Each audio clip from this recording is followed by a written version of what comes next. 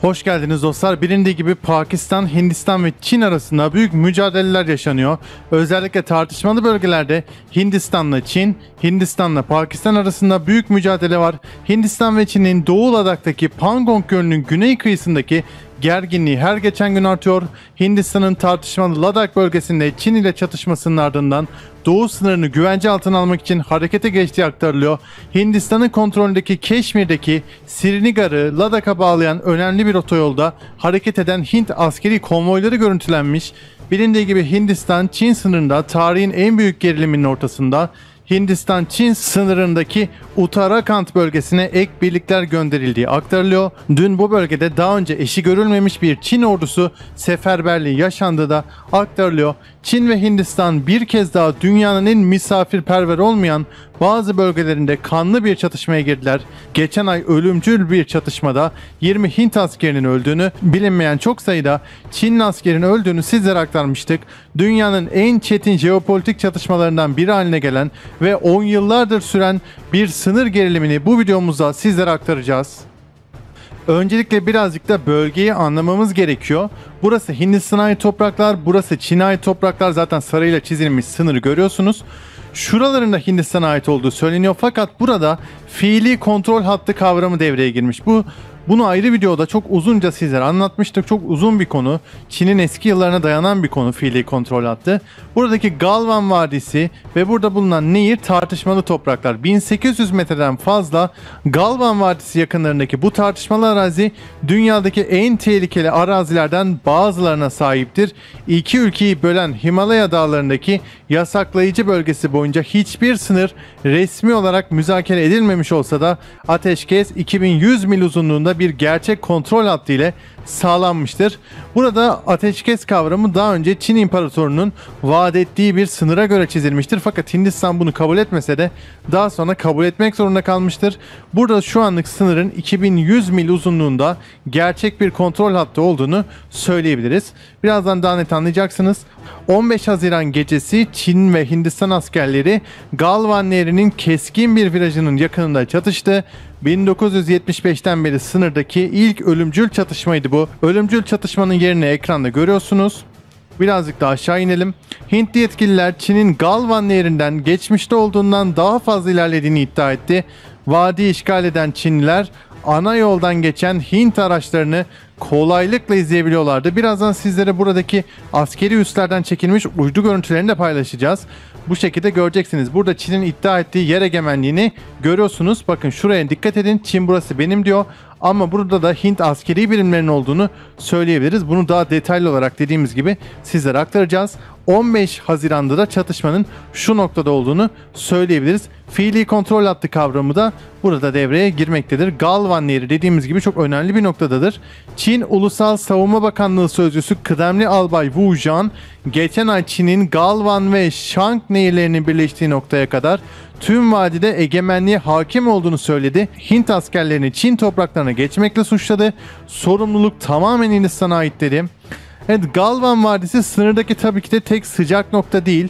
Nisan sonu ve Mayıs başında Hint birlikleri fiili kontrol hattı boyunca diğer iki noktada Çin kuvvetlerinin toplanmasını gözlemlemeye başladı. Bu bölgenin Pangong Gölü ve Kaplıca bölgesi olduğunu söyleyebiliriz.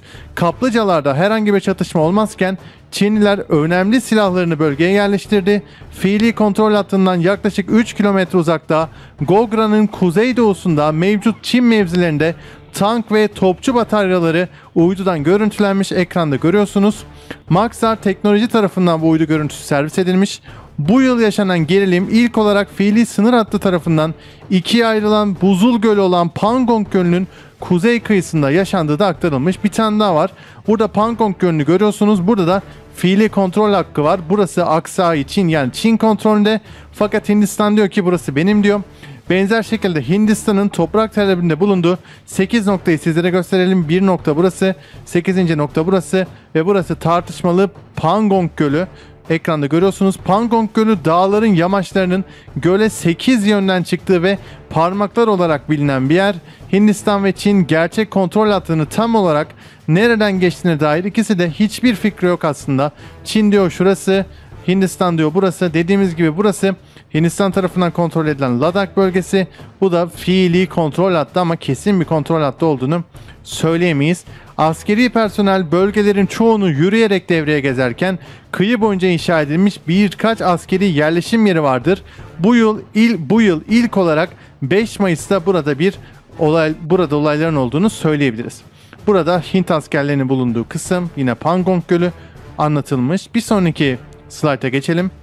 Evet burada parmak uç olarak adlandırdığımız noktada görüyorsunuz Hint askeri yerleşimlerini bu şekilde. Burada çok sayıda 10 Temmuz'da çekilmiş uydu görüntüsü aktarılmış. Birçok çadırın olduğu aktarılıyor. Yine 26 Haziran'da çekilen uydu görüntüleri Çinlilerin bu bölgedeki inşaat faaliyetlerini çok net bir biçimde gösteriyor. Görüldüğü gibi Çinliler buraya inşaat yaparak büyük ihtimalle bir askeri üs kurma peşindeler. Ancak on bakın dikkat edin Çinliler burada bu şekilde bir hazırlık yaparken 26 Haziran'da aynı bölgeye 10 Temmuz'da baktığımızda Çin'in bölgeden çekildiğini görüyoruz. Çin bu şekilde burada yapı yaparken bir anda ne oluyorsa Çin'in bölgeden çekildiğini görüyoruz. Kısmi geri çekilmeye rağmen Çin güçleri bu bölgedeki olaylara karışmaya devam ediyor. Çinliler daha çok dağ tepelerine çadırlar yerleştirmiş ve burada Çin askeri yerleşimlerini tek tük olsa da görüyoruz. Çin'in Himalayalardaki eylemleri özellikle Güney Çin denizindeki bölgesel iddialarını öne sürmek veya güçlendirmek için benzer çabaları yansıtmaktadır. Çin savaş gemileri bu yıl Vietnam, Malezya ve Endonezya'dan balıkçılık ve araştırma gemilerini tehdit etmişti. Son haftalarda Çin'in Hindistan ile yakın bir savunma ilişkisi olan Bhutan'daki toprak iddialarında genişlettiği bildiriliyor.